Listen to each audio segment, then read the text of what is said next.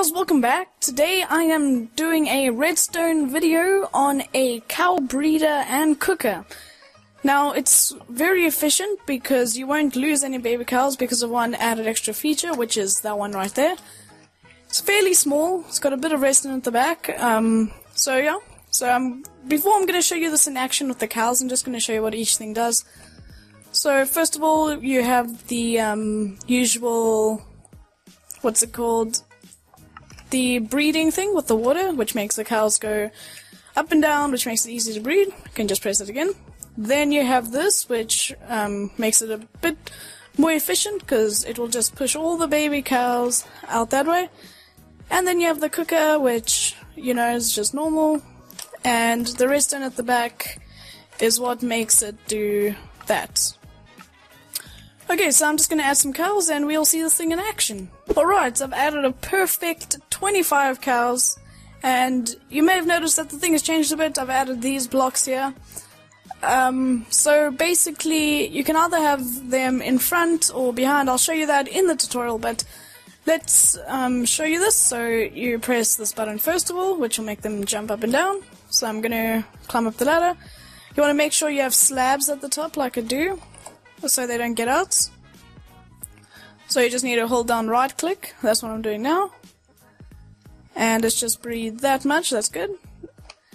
Um, you don't need to collect the XP at the top, you'll see why now. So now you just need to press that button, uh, press the pusher, and um, you may not have seen that, but the pusher actually pushed the XP down. So I've added this here where you can just walk up and you'll get all the XP.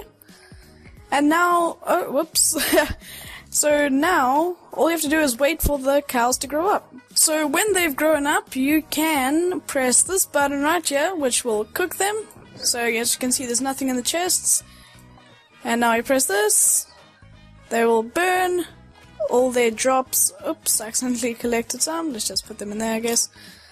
And then they'll fall down onto the hopper and go into here. So that was about 13 or 12 cows. So basically you'll get half the population of what you have here down to there.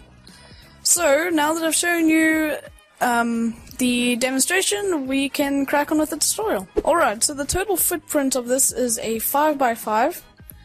So what you want to first of first of all start off with is just a shape like this with a quartz slab in the middle. Then you want to place a dispenser up like that and a dispenser there.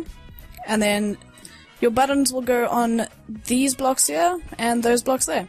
Alright, now what you want to do is just place a piston here, uh, put glass block there, and then quartz here, and here, and then go up one layer, and then just place quartz like this, and slabs on top of each of those blocks. Alright, now what you want to do is just place buttons here, one there, and put a repeater right there. Alright, now we're going to move on to the redstone. So what you just want to do here is just place glass like this, and also there. Then you want to come back here behind your button, place a block here, place a block up, put a repeater there, and a redstone uh, piece of redstone dust there. Put a redstone torch here, uh, go up just under it, and do that. Put a, a piece of redstone dust there then put two blocks like this, a redstone repeater here on two ticks, and here one here on one tick, and then just put a redstone torch there. So now what that should do is activate your dropper, uh, your dispenser there once, uh, twice.